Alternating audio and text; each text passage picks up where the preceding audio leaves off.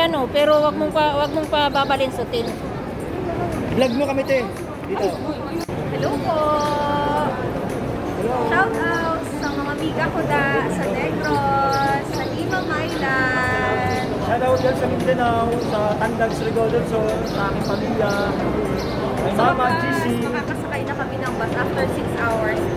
Yan. Ito na po yung last ng Expo. Turn up this month. Po kami mga kasama rito, mga ibang lahi, mga Nepali. Shout out.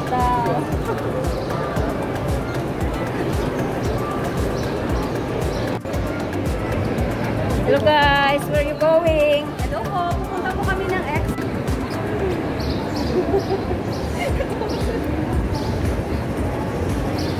Oh.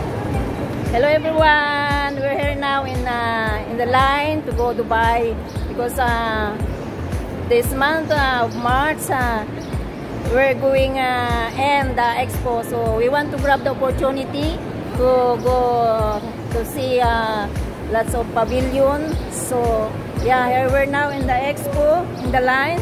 Look at that, guys. Too much people. This is our sacrificing. You see that bus, that expo rider, and free. So, Hello po, after 6 hours po kami naghintay dito, makakasakay na po kami. Shout out nga pala po sa tatlo naming anak sa Himamayla, Negros Occidental. Hi Sheka, Sheikh Nori, Samira, hello po. Shoutout din po sa Mindanao, sa aking mama, si sa Surigao del Sur. Sobrang gutom na kami. Wala pa alas 8, wala pa kaming kain. Anong oras na. Pero sulit yan pagdating, pagdating namin sa Expo. marami kami makikita doon. Ah, Maraming salamat. thank you po. Also, marami kami kaibigan dito. Nepal. Ayan guys. Ayan. We're in the line now. Say hi. From Nepal. From Nepal. From Nepal. Yeah, they are from uh, Nepal. Hello guys.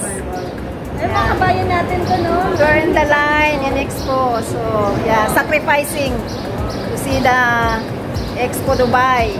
This is our So, what's sacrificing up, waiting. people? Nandito kami sa Abu Dhabi, going to Dubai. Expo Yeah. 2020. Yes. Boom, boom, boom. You see that lots of people. Ah, yeah. After four hours of uh, uh, line key in Abu Dhabi and two hours in the bus. So here we're now in the Expo. See you later guys. We go inside.